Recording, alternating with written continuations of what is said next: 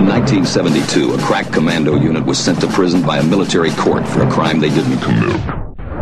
These